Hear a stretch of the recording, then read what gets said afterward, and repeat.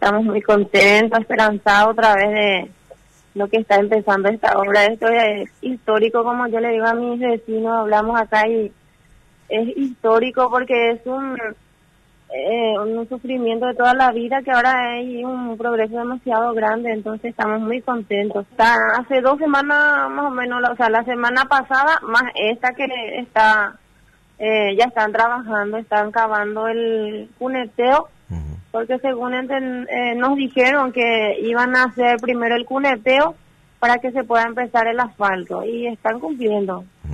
Hay un, un, arroyo luego justamente acá en el donde todavía no está poblada, hay un arroyo que siempre es el que más eh, desastre hace porque pasa por encima de la ruta. Por.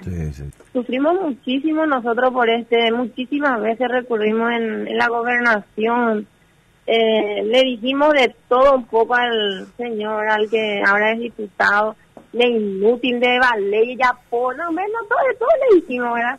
Pero ahora justamente estábamos hablando con los vecinos acá y dijimos, eh, hay que reconocer que eh, con todo eso, ¿verdad? Si dañan de nacido, pues daña Cambuy luego, ¿verdad? Entonces, eh, justamente dijimos eso, ¿verdad? Que hay que reconocer que él luchó muchísimo y yo creo que hay que resaltar eso que eso sería un logro de él y eh, lo que él estuvo haciendo porque mucho eh, como yo digo yo soy una de las primeras veces ella la hija del de Valle y gobernador.